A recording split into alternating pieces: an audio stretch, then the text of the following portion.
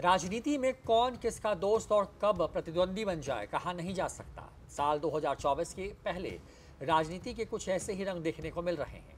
14 में एनडीए के रथ पे सवार रहे बिहार के सन ऑफ़ महल। 2014 में एनडीए के रथ पे सवार रहे बिहार के सन ऑफ़ मल्लाह, यानी मुकेश सहनी ने पूर्वांचल में पैर जमाने की कोशिश शुरू कर दी है। यहाँ उनका मुकाबला योगी कैबिनेट के मंत्री डॉक्टर अजय, डॉक्टर संजय निषाद से है। वजह है कि दोनों का वोट बैंक एक ही यानी कि निषाद समुदाय है।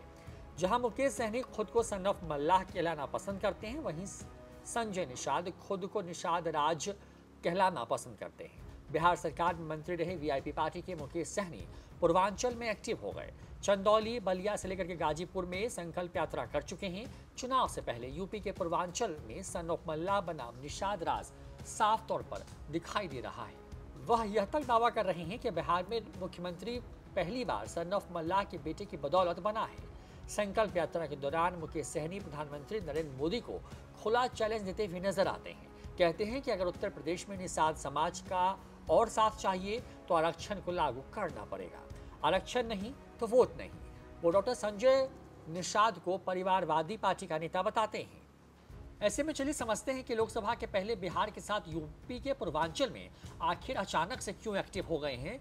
मुकेश सहनी, वो डॉक्टर संजय निषाद पर क्यों आरोप लगा रहे हैं? पहली, पहले वीआईपी पार्टी की निषाद आरक्षण यात्रा पर बात करते हैं। दरअसल बिहार की सियासत में पिछले नौ महीनों से साइडलाइन वीआईपी पार्टी के राष्ट्रीय अध्यक्ष मुकेश सहनी एक बार फिर से अपनी ज़मीन तलाशने में जुट गए हैं। 26 जुलाई से वह निषाद आरक्षण संकल्प यात्रा निकाल रहे हैं।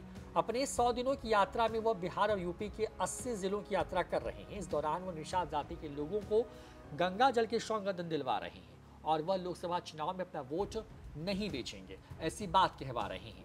अपने भविष्य और बच्चों को बेहतर शिक्षा देने के लिए उनको साथ लाने की कोशिश कर रहे हैं। उनका साथ देने वाले घरों के आगे स्टिकर भी चिपकाए जा रहे हैं।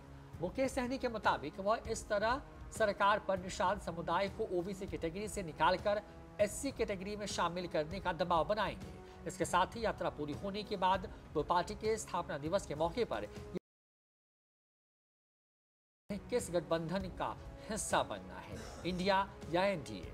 बीते दिनों मुकेश सहनी का रथ गाजीपुर ज़िले में पहुँचा था। मुकेश सहनी ने गाजीपुर में संबोधित करते हुए पीएम मोदी और सीएम योगी पर हमला बोला। सबसे पहले ही यूपी सरकार में मंत्री संजय निषाद पर हमला बोलते हुए घोसी विधानसभा उपचुनाव में भाजपा प्रत्याशी का हार का ठीकरा, निषाद पार्टी के मुखिया संजय निषाद पर फोड़ा। कहा कि वह सिर्फ़ अपने परिवार का विकास कर रहे हैं, समाज की उनकी खुद मंत्री हो गए। बेटे को सांसद और विधायक बनाकर सेट कर दिया।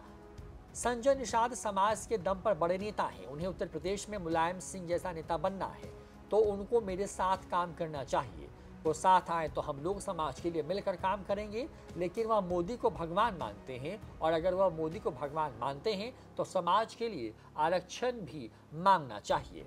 इस दौरान मुकेश सहनी ने कहा कि आरक्षण नहीं मिलने से इस दौरान मुकेश सहनी ने कहा कि आरक्षण नहीं मिलने से निषाद समाज नाराज़ है। जिसका नतीजा घोसी विधानसभा में हार का मुँह दिखना पड़ा। एक सवाल के जवाब में मुकेश सहनी कहते हैं कि मैं किसी के साथ नहीं हूँ, न इंडिया के साथ और न ही एनडीए के साथ। 24 के पहले अगर हमारे समाज को आरक्षण मिलेगा तो हम उनके साथ जाएँगे जो आरक्षण देगा। नहीं तो 2000 परसेंट हम विरोध करेंगे, इसका उत्तर प्रदेश, बिहार और झारखंड में।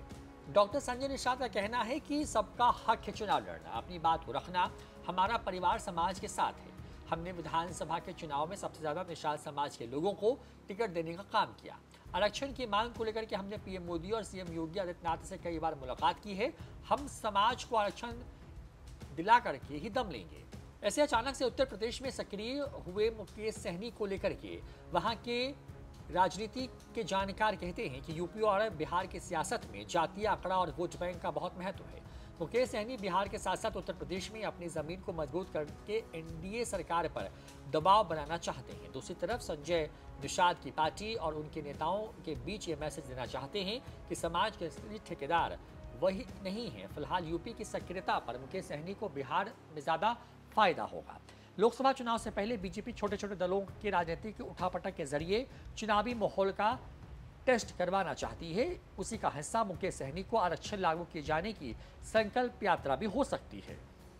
अब आपको बता दें कि 31 दिसंबर साल 2016 के आदेश के हिसाब से मछुआ समुदाय की सभी जातियों, जिसमें कहार, कश्यप, केवट, मल्लाह, निषाद कुम्हार, प्रजापति, धीवर, बिंदभर, राजभर, धीमर, बाथम, तुरहा, गुड़िया मांझी और मछुआ को ओबी की सूची से निकालकर अनुसूचित जाति की सूचियों में शामिल करने के विभागों का आदेश सामने आया था। गंगा किनारे वाले पूर्वी उत्तर प्रदेश के इलाके में निषाद समुदाय की अच्छी खासी आबादी है। साल 2016 में गठित निषाद पार्टी का खासकर निषाद केवट मल्लाह बेलदार और बिंद बिरादियों में अच्छा असर माना जाता है। इसके अलावा गोरखपुर, देवरिया, महाराजगंज, जौनपुर, संत कबीर नगर, बलिया, भतोही और वाराणसी समेत सोलह जिलों में निषाद समुदाय के वोट जीत हार में बड़ी भूमिका अदा करते हैं। साल 2011 की जनगणना के आधार पर उत्तर प्रदेश में सात समाज का वोट बैंक करीब 18 फ़ीसदी है। उत्तर प्रदेश विधानसभा की एक सौ पैंसठ सीटें निषाद बहुल्य हैं और हर विधानसभा में नब्बे हज़ार से एक लाख तक वोटर हैं। न्यूज़ फोर नेशन की रिपोर्ट।